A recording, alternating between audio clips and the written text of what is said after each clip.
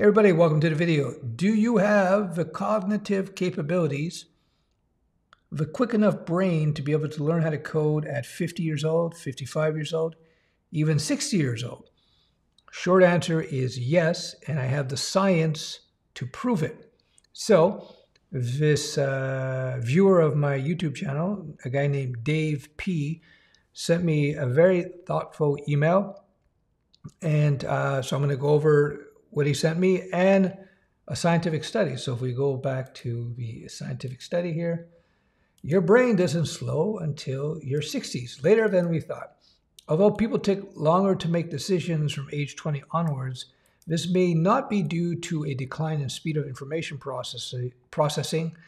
A large study has found. So there you go. Now you don't have to watch the rest of the video if you don't want to. Uh, but let's get into some details though. What I've learned anecdotally over the years is that when people when people are learning how to code, the biggest impediment that they have is not intellectual. It's psychological. Insecurities, uh, lack of uh, follow through, lack of consistency. A lot of it's insecurity. It's all rooted in that. Impatience. So that's not intellect. If you're an average person, you should be able to learn to code no problem. Uh, let me dispel first myth. You don't need to be a master of math to be a coder. You just need to be consistent, thoughtful. Anyhow, let me just read this piece here. We'll get into some of the data in the article and we'll take it from there. So he starts Hi, Stefan. I'm Stefan, by the way. Uh, as you've done a couple YouTube videos about the capacity of older folk to older folk to become computer programmers, I wanted to share with you a study released this week which challenges widespread beliefs about the relationship between age and mental speed. The aim of the study was to dissect the factors that result in the widely recognized and measurable observation that older people are slower at performing decision making tasks. Many studies show that, hold on a second, let me before I get into that. One of the things I want to point out if you want to stay tip top in terms of your mental capabilities, you got to get in shape. Getting in shape does help. Having proper uh, body fat percentage, well, 18% would be nice, 20 to 18%. Um, BMI, some people dispute that, body mass index number. Just being in shape, doing exercise every day, drinking lots of water, eating healthy. This will help you with your cognitive capabilities, by the way. I can tell you from my own personal experience. Anyhow, let me continue. Many studies that show that the time it takes people to process information and deliver decision increases as people age. However, the study notes response time are not a pure measure of mental speed, but instead represent the sum of multiple processes, including, for example, how quickly they click keys on a keyboard or how long they review their decision before committing to it. The study is huge analyzing data from more than a million decision making tasks performed as part of a separate study. The bottom line is clear. Here it is, the bottom line. Mental speed rises throughout adolescence, adolescence peaking at, a, at around age 30, but then it remains stable and high until after 60 years old. Let me say that again. Mental speed rises throughout adolescence, peaking at around age 30, but then it remains stable and high until after 60 years old. So basically, if you're 60 years old, you probably are smarter or faster thinking rather than the average 25 years old. Take that, 25 year olds. I'm just kidding. Anyway, no, well, it's true. So don't worry. You're 25, you're 20, you're still growing. Don't worry about it. You get, uh, you got, you'll get there. Anyway, let me continue. Mental speed doesn't drop below that expected for a 20 year old until after the age of 70. Oh, geez. I can see that. You know, I have certain relatives that super sharp as they uh, in their older age, 60s and 70s, even some in their 80s or 90s. Um, a lot of it is just genetics, uh, how you, you know, how, what kind of lifestyle you led when you were younger, whether or not you continue to learn. You know, like the brain, it's like any other aspect of your body. If you use it, you expose it to different stimulus, it will have a positive impact of terms of its capacity. Let me go back. Uh, perhaps most more interesting is that one of the factors causing the overall task speed to be faster in younger people is that they are more willing to submit to poorly reasoned answers than to properly review their decisions. As someone who laughs when I see young programmers boast on YouTube about how fast they type, I took some satisfaction in that finding. Yeah, you know, that's another myth out there, but somehow typing speed has anything to do with being a good developer. That's all a bunch of BS. You know, with code completion uh, software, where you know you type in a few, first few letters and it goes, it writes out the line for you.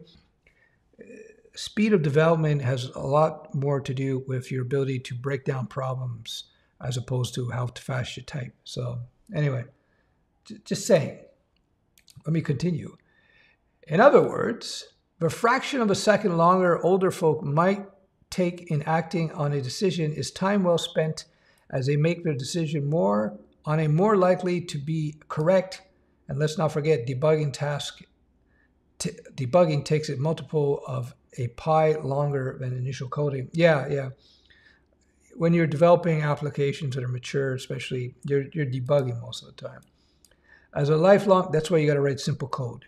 As a lifelong techie type, I have found my increasing patience and confidence to be one of the biggest benefits I have as an older person over that I had in the haste of youth. Anyway, I pasted a link to the study below.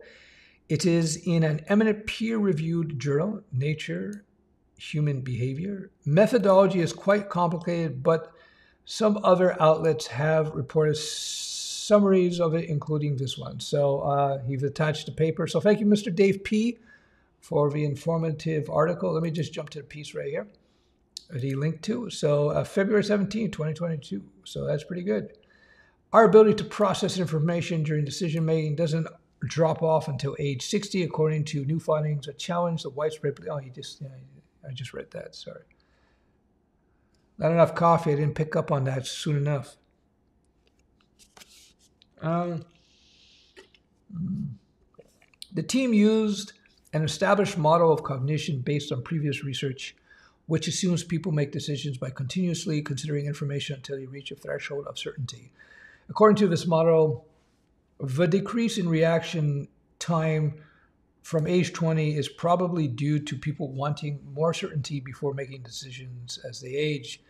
Visual information taking visual information taking more time to travel from their eye to their brain, people taking longer to physically hit the button as they get older. Hmm. So I'll link to this piece because I don't want to talk for 10,000 hours here. Uh, bottom line is, I had to turn up the uh, gain here. Anyway, bottom line is is that uh, according to the studies, big studies, bigger the study, the more accurate the study. By the way, if you have a study with 100 people, hmm, have a study with 1,000 people, much better. Study with 10,000 people, much better. If I recall from my university days, I think if you have a study of 25K or more, something like that. It's pretty accurate. It's pretty representative of the whole. Anyhow, there you go. If you're thinking about learning how to code and you're worried that it's uh, you have cognitive deficiencies because you're 50 years old or 60 years old, even 70 year old, um, according to the study, uh, given uh, you know all things being equal, rather, you're probably pretty pretty well off. In fact, if you're 55 or 60 year old, you're probably in a better position mentally than the average teenager or somebody, uh, the average person under 30, actually. So that's according to the science. Again, if you're under 30, don't take this as a shot against you. It isn't. You're still growing, the brain is still maturing. Let me leave young nerdlings a little point of advice. When you were uh, 20 years old, you look back at yourself at 10 years old and you said, Boy, I didn't know anything when I was 10 years old. And then when you were 30 years old, and then you look back at yourself when you were 20, you said, when I was 20, man, I was a real idiot. At least I did. Uh, then when you hit 40 years old and you look back at yourself at 30 years old, you say, eh, I didn't know too much there. I, I made a lot of bad assumptions. When you hit 50 years old and you look back at yourself at 40, you're like, ah, I got some things right, but eh, some things I was wrong. You get the point, right? So don't worry about it as you get older. It's a function of aging is to uh, gain experience, gain wisdom and perspective. So when you're younger and you have hard opinions about things, which we all do when we're younger, uh, maybe think about that. Think about your perceptions of reality when you were 10 years younger and knowing that, you know, 10 years ago, you didn't quite understand the world as you do now. Uh, take it from me, 10 years later, you're going to have the same perception about your current self. There you go. I hope that helps. Oh, by the way, if you want to learn how to code, I got a mentoring program, link below. The foundation of the mentoring program is, of course, code because it's the quickest way to reaching uh, financial stability quickly. Uh, but there's much more to it than that. You can learn more about it below. Shameless self promotion is a must.